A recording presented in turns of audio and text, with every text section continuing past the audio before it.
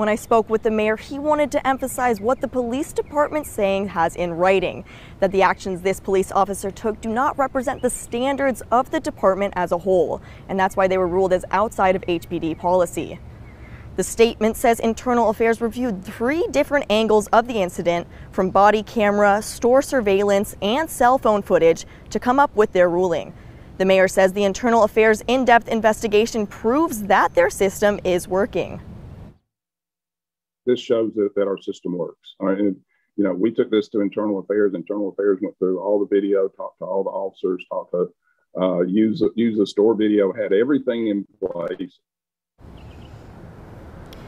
the case is now being looked over by the police chief for disciplinary review. The mayor says the department has 188,000 calls for service a year. They want all of them to be perfect, but that's not always the case. And the mayor says that's the reason why they have internal affairs to look over incidents such as this. Reporting live in Huntsville, Nicole Zedek, WAAY 31 News. Thanks, Nicole. The clock is ticking for the City of Huntsville administrator to submit a written action plan to two Huntsville City Council members on how the city plans to respond to a review of the police department.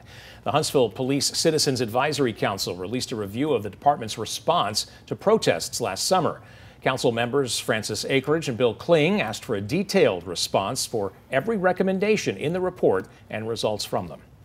The Rosa Parks Committee sent a letter to the Department of Justice asking for it to launch an investigation into the actions of HPD officers. Coming up on WAAY 31 News at 5, you'll hear what Mayor Battle had to say about that request and why he is not a fan of it.